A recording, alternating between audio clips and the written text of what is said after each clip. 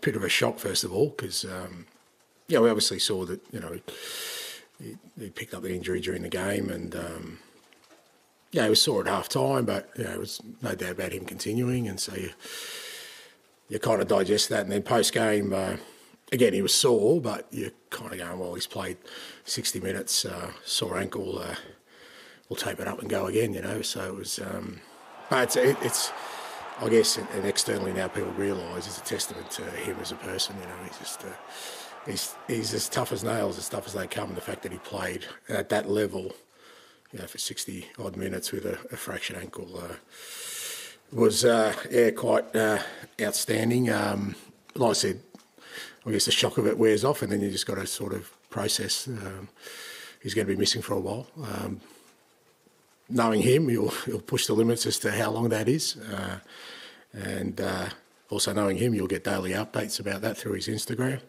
Um, but, you know, um, yeah, big blow, but for him personally, I guess, because he was he was having an outstanding season for us and really growing as a leader within the group. But uh, we've uh, dealt with setbacks before, and we'll deal with this one. Look, it's it's not going to be weeks; it'll be months. But sort of, um, you know, he's had surgery, and you're going to know with surgery there's certain timelines, but.